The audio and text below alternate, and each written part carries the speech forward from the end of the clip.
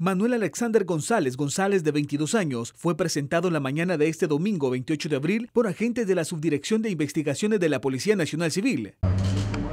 El sujeto es perfilado como pandillero de la MS y, según la PNC, es quien dirige los asesinatos de agentes policiales en el Departamento de la Libertad. Y este es uno de los principales este, sujetos que está eh, llevando a cabo las coordinaciones y la dirección eh, este, hacia las demás estructuras en el sector de la libertad para que atenten contra personal policial.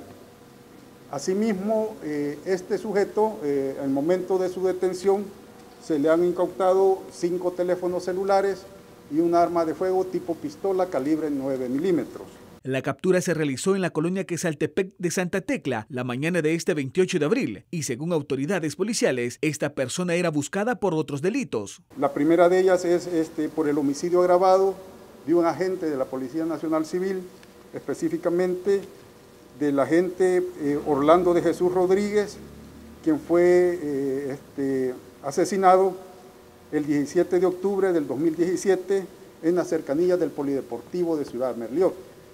De este caso nosotros ya tenemos eh, tres personas capturadas y este sujeto había quedado prófugo.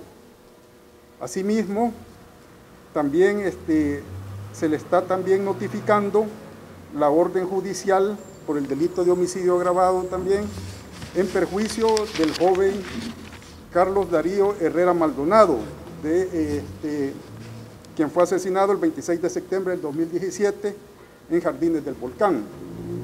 Este, este joven, Carlos Darío Herrera Maldonado, era hijo del periodista Henry Arana.